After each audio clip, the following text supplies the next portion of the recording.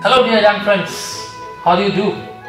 A new book, a new look, all new chapters, new dramas, new writing skills. Old was gold, but new is platinum. Isn't? Let us start with our first lesson, which is being neighborly. The story is about dreams, yours and mine. I mean, about all middle class persons who always strive to achieve their dreams. They have little less, they need a little more. And the best time to revisit their dreams is always a midnight or say an alpha in the superficial sleep when all the family members of middle class sleep under one roof after their dinner and all eyes are on the ceilings and they are seeing their astronomical heights which we call dreams till they sink into their theta or delta sleep. Middle class is always the backbone of any country across the world. It gives more, it gets less. This is the story of four sisters, March sisters. Now about the author, Louisa May Alcott, who is the author of this novel, Little Women, had published it in the year 1868 and now this novel is 150 plus year old story of a Boston suburb, a fictitious Plumfield. This story or novel is also considered to be a semi-autobiographical account of Madame Louisa May Alcott by the name Josephine March or simply Jo. This novel is divided into two parts. From chapters 1 to 23, it is Little Women and from chapters 24 to 47, it is Good Wives. This novel has been staged, filmed, televised and has been radio theatered and aired several hundreds of times from 1912 to 2019 and will continue to fascinate any generations to come. This novel is of the genre coming of ages. Actually, author's family had suffered huge financial losses at their house in Concord in Massachusetts. They were not poor they were rich once upon a time, but they had to pay debts of many of their friends, relatives, and acquaintances, due to which they became poor.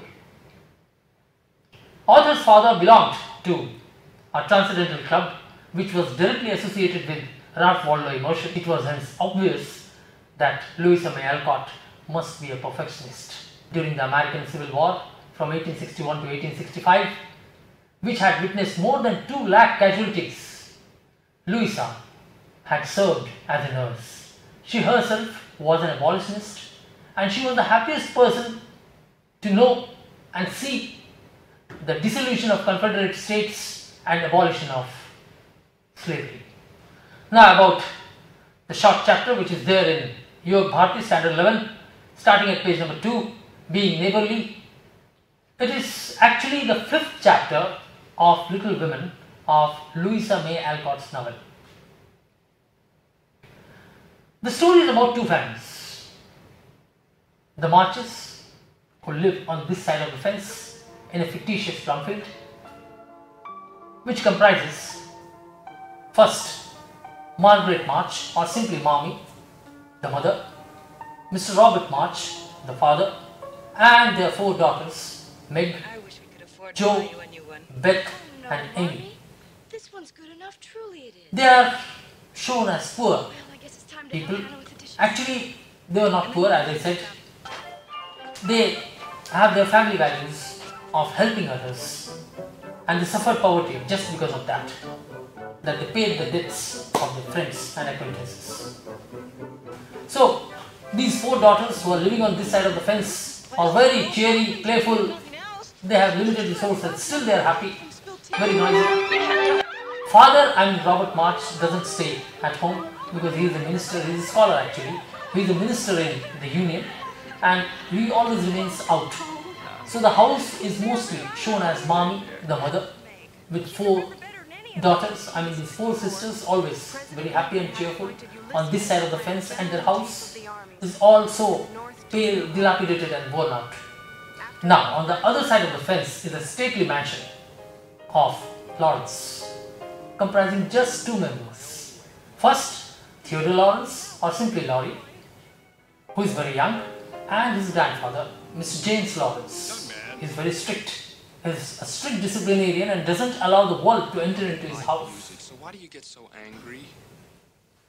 And they are all surrounded by large number of servants, books, doctors, and one tutor. The tutor is a very important person here. He is rather very interesting person. His name is Mr. John Brooke. I will let you know about him later. Know somebody else.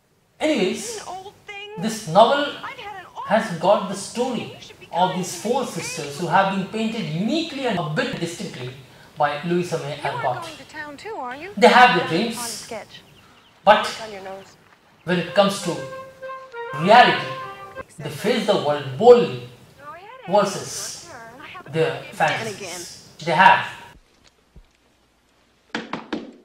a very rich aunt named March do Auntie like to dawdle. who always threatens these we've been sisters through all these essays. that she would disinherit them Anything worth of her property is if wait worth upon her reading or twice. serve her. And Jo could not study in any school because of that because she was a businessman girl. Spriggins. No good will come of it, you mark my words. Jonathan March always was a fool, already in reduced means, and off he goes, any old how. Aunt March. He's been a hapless gull and a fool for any silly cause all his life long. You stop it. You stop it, Aunt March. He's my father, and and anyhow, the war to save the Union is not a silly cause. Don't you use that tone to me, Josephine. Now sit down. Start reading, please.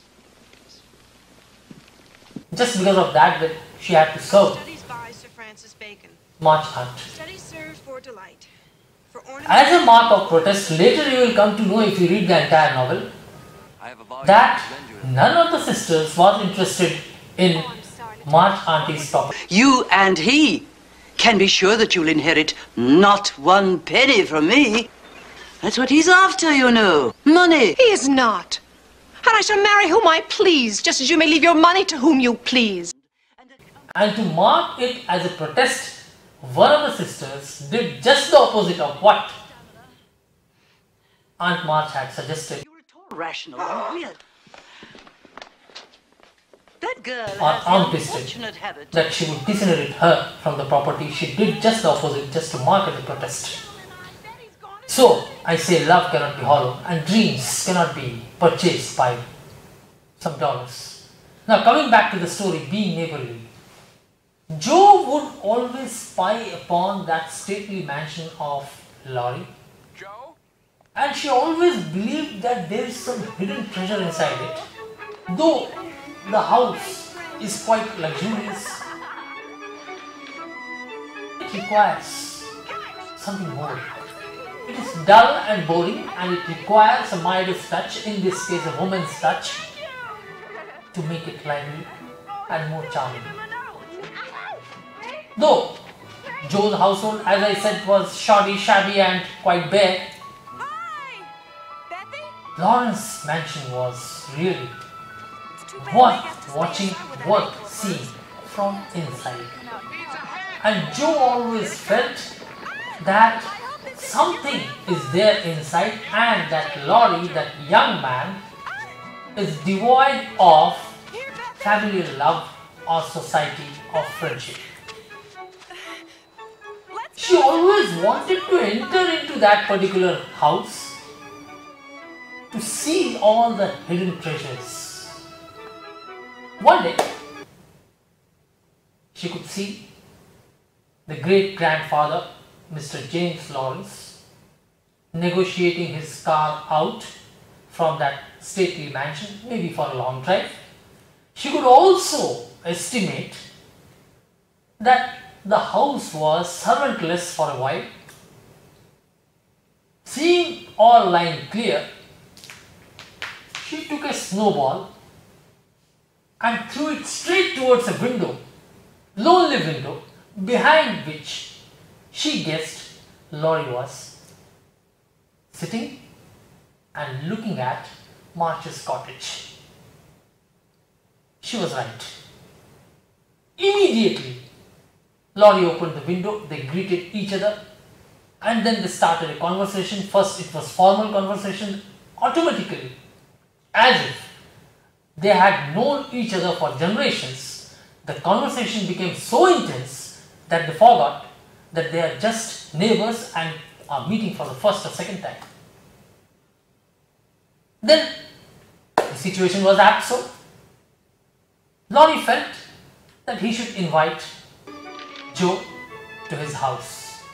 So Jo said that she would seek permission from her mother and then she would come. So she went to take permission from her mother. Meanwhile, I want to tell you something about the characteristics of Jo and Laurie. Both of them had got some resemblances. First, they did not want to be called by their original names. If one was Laurie and another one was Jo, actually they were Mr. Theodore Lawrence and Miss Josephine March. Both of them had a broader outlook towards each other. Both of them were inquisitive, they would ask a lot of questions based on their observations. Both of them were a little mischievous, but there was one difference between both of them. Laurie was bashful, you may say shy.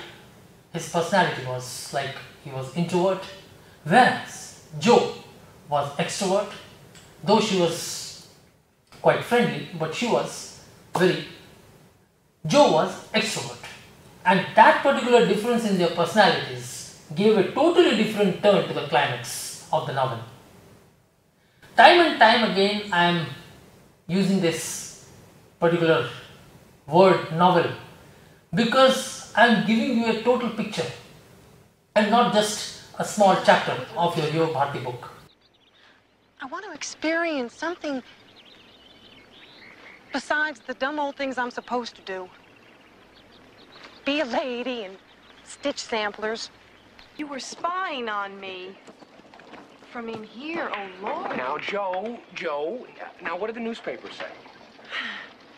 Unless you get a clear idea of the characters, easy. especially the main I character, you cannot enjoy death, this but when. I... They lied. And also, I would like to No, no, no, they introduce even read the the four news. sisters. The eldest one was Meg, who was very beautiful and was more sorry about the affairs of heart, intuitions. She was appointed as a governess in King's family, very rich family, and she always considered herself to be belonging to an elite society and she had her dreams to be like them, to earn like them, to marry a person like kings. But later I would let you know whom she married. It is a totally different story. A little bit. Later I will let you know. Next is Jo or Josephine March. You know much about her. She is tomboyish, extrovert. She needs to control her anger and emotions. She meets people with great warmth and enthusiasm. Later on, you will find in the novel that she became a very prosperous writer. She became an eminent writer and she earned fortunes by writing, though she didn't attend any school, but she was always fond of books. The third is Beth, who is always shown as a small child carrying her toys and dolls in a basket. Unfortunately, she died because she contracted a scarlet fever when she was just 19 years of age. And the last, but not the least, is Amy. She is the only one who studied in school and she was very beautiful, had brown curly hair, blue eyes, and she was quite artistic and she had a passion for that. At last, you will see if you read the novel that her self expression was so beautiful that she succeeded and excelled in all the spheres. Now, coming back to the story, now Jo has taken permission from mother and she knocked at the door of Mr. Laurie.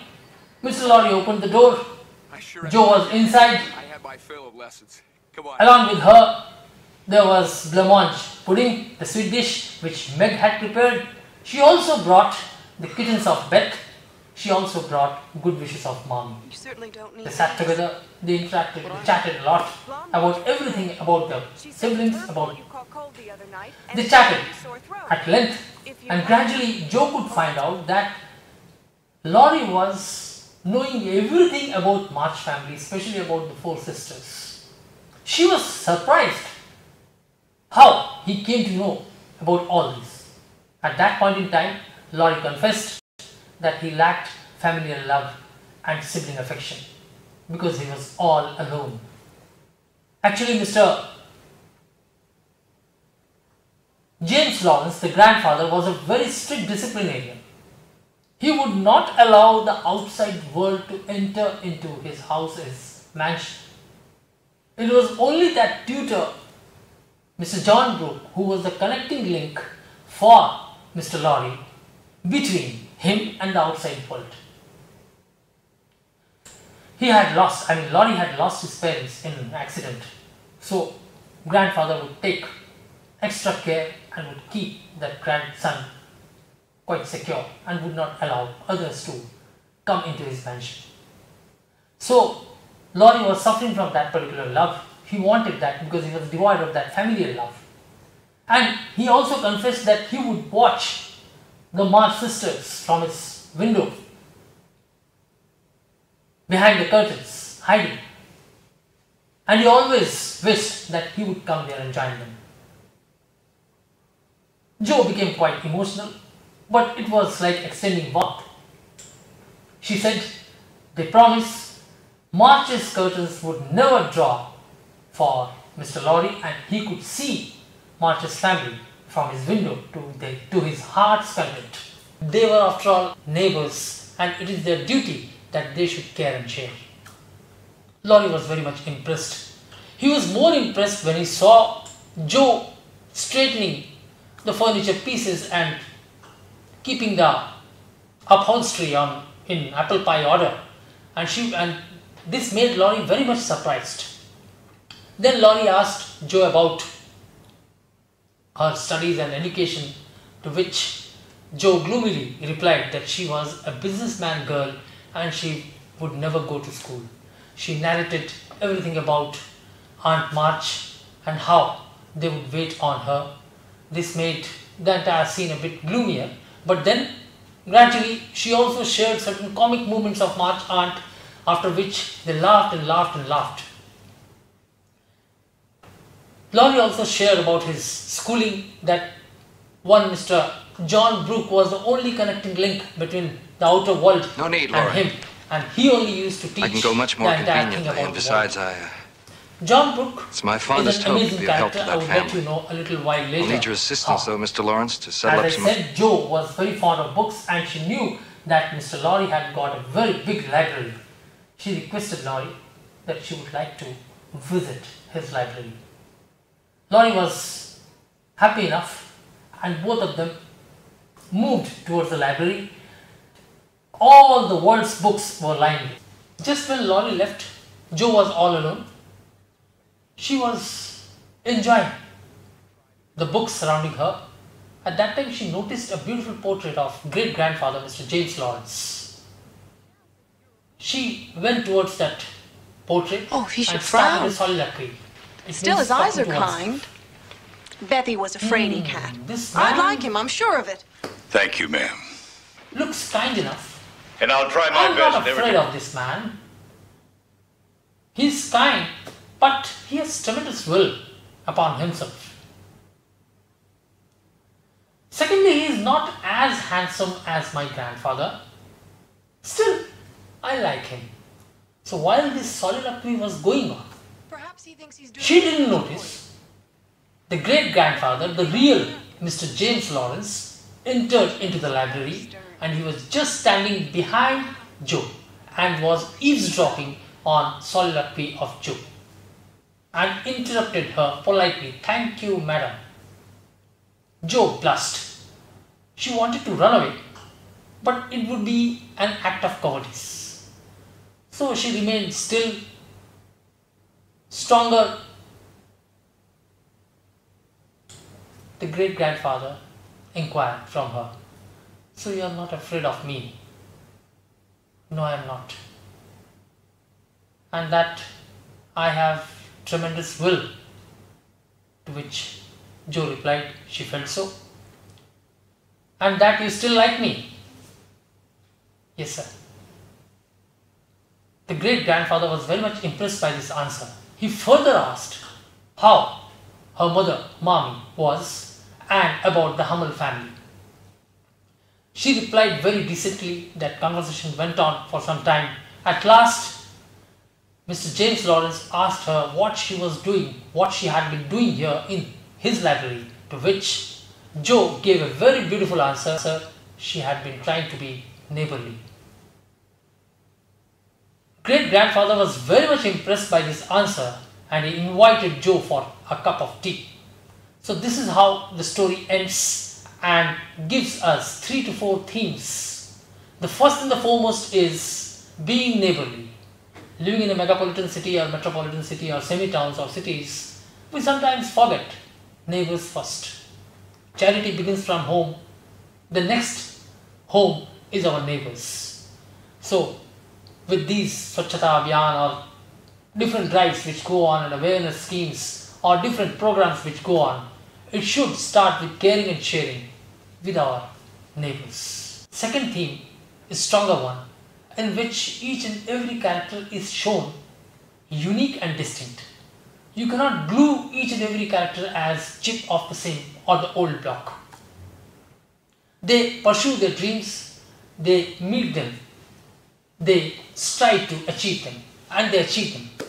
The piece is concerned.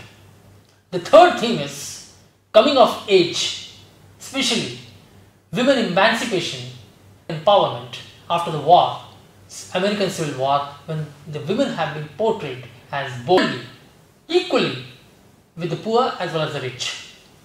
Third and the foremost is doing charity. Though March family was poor, they never forgot to do charity. Especially in this case, there was a mention about Hummel family. Hummel family is a German family comprising a widow and six children who are very poor and live on the donations of the charity done by the March family. So this is how, and it clearly proves that charity is something, if we do, there will be wealth redistribution and there will be no poor in this world. The fourth and the most important theme is love cannot be hollow. March aunt always threatened the March sister to disinherit them of her property if they didn't wait upon her or if they didn't follow her advices or instructions or commands. To mark it as a protest, they did just the opposite. And no one wanted her property, which clearly shows that dream cannot be bought by money. Now, it is time to break some suspense. The first and the foremost is who married whom. So, the first and the quite obvious couple, God made couple, must be Jo and Laurie, right? Am I right? Yes, I am. No. Unfortunately, no. Jo was married to a middle aged German professor, Mr. Frederick Bhaer. They had two children, Robin and Teddy. Yeah, in fact, in fact, Laurie wanted to marry Jo. But I told you just a little while ago, Jo was extrovert, Laurie was bashful and introvert. Laurie misread the emotions of Jo and proposed her, to which Jo outrightly rejected him because he never considered Laurie to be her soulmate. This left Laurie dejected, upset, surprised, and shocked. But Jo was just doing a favor of being neighborly. Okay, it means that Laurie was not married to Jo. Then was it the eldest one, Meg? No, again. But Meg was beautiful and she always wanted to marry some rich person as she believed herself to be belonging to elite society. So there must be a rich person with whom Meg was married. Unfortunately, no. She was married to John Brooke, the tutor of Laurie. Do you remember that tutor I told? He was the connecting link between the entire world and Laurie. He was in love with Meg. Earlier, Meg was not in love with John Brooke. And Aunt March also warned Meg if she married that person, she would disinherit her from the property. Oh, I'm sorry, Lieutenant. What was it you... You and he can be sure that you'll inherit not one penny from me. That's what he's after, you know. Money. He is not. And I shall marry whom I please, just as you may leave your money to whom you please. To mark this as a protest, she married John Brooke, but then she started loving John Brooke and they had two children, twins, Daisy and Demi. Hmm, then who? I mean, Laurie married Beth, but I told Beth contracted scarlet fever and she died at the age of 19. Then do you mean Amy, the youngest one? Yeah, Laurie was married to Amy. Actually, Laurie had proposed to Jo and Jo had rejected the offer after which he was very much upset and he went on a Europe tour where he met Amy who was on Europe tour with her aunt. Amy served as a calm balm upon Laurie and they fell in love, they married and they had one daughter, Beth on the name of the third sister. This is how the story ends. And now the last suspense. Then whom did Aunt March bequeath her property? It was Josephine March or Jo. So this is how the story ends. Before I say goodbye to you, I would like to pronounce some words, some difficult words which are there in the chapter, which are like this. The first one is sack, S-A-C-Q-U-E. It is actually a short jacket, especially one fashionable in the late 17th and 18th century. The next is Ivanhoe, a historical novel by Sir Walter Scott, first published in 1890. The next, betokening, to be a token or sign of. Hidden glories, in this case, the luxury in Laurie's mansion. As Dallas tombs, a figure of speech simile, which means as still as a graveyard. A little gentleman, as most of the boys do before meeting their guests and friends. I hope you understand what I mean. Thoda style and thoda swag. Blancmange. It is a sweet dish made with flavored corn flour and milk. We generally call it pudding. Then bashfulness, socially shy, opposite in aggression or confidence. Pranced. To move with quick high steps. As happy as a cricket. Simile. It is a simile, meaning merrily and happily. Good luck. So read the story Being Neighborly once again. Now you won't face any problem. After reading this, you will connect all the dots and you will enjoy the story in a better way. Here I have used a few video clips of Little Women Teleplay 28 directed by Sir David Lowell Rich. My intention of using it or these video clips is for educational purpose. Thank you. Aviento. Goodbye.